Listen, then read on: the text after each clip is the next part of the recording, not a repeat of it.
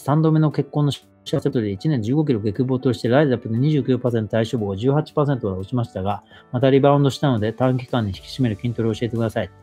ライズアでやったライズアップでやった同じことをもう一回やってください。ファイト何のこともねえわ。9%落とした作業をもう一回やったらいいんじゃないですか。ええ、短期間で引き締めたら短期間で戻りますから、長期間かけてずっと体型キープできるように継続して運動して余計なもの食わない。したら、自然に体変わってきますね。頑張って。短期間でいいんだったらライズアップやんなさい、もう一回。ライズアップでもう一回教わってんだから、トレーナーいなくても自分でできるでしょ？それが金払ったリターンでしょ？高い金払って、あんな誰でもできることをただやらされるだけなんだから、だからそのノウハウをもう高い金払って手に入れたと思って、もう一回ラジャップのやってることを自分の家でやったらいいんじゃないですかそしたら、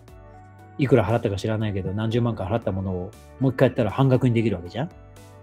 ラッキーだね。